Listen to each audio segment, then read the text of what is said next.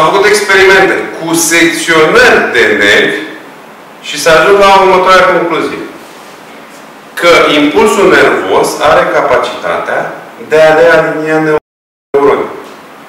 Și s-a făcut în felul următor. La oamenii care aveau uh, să zicem, măduva spinării secționată la un anumit nivel, li s-a făcut kinetoterapie.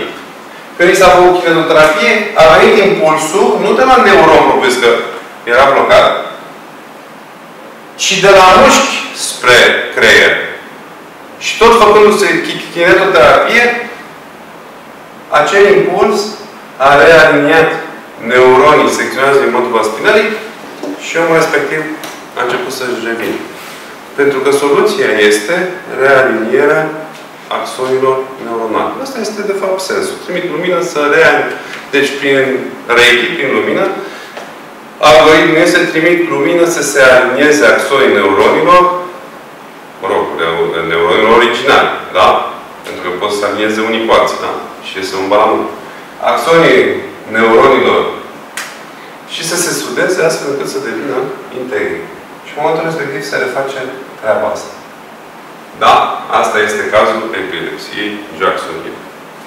Evident, refacerea câmpului, refacerea SN-ului, refacerea structurilor, refacerea... Lumina are capacitatea de... Deci, lumina are capacitatea de a rearanja neuronii.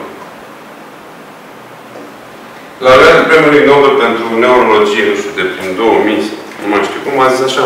Domnule, trebuie să avem curajul, nu sunt, e medic, e profesor de neurochirurgie.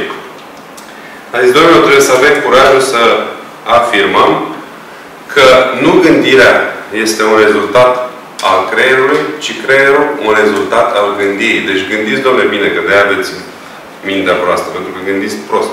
Deci dacă gândești bine, în perspectivă, mintea ta, mintea ta va fi o minte bună. Nu a zis-o numai, a zis-o și Kant, care spunea o voință bună determină o conștiință bună.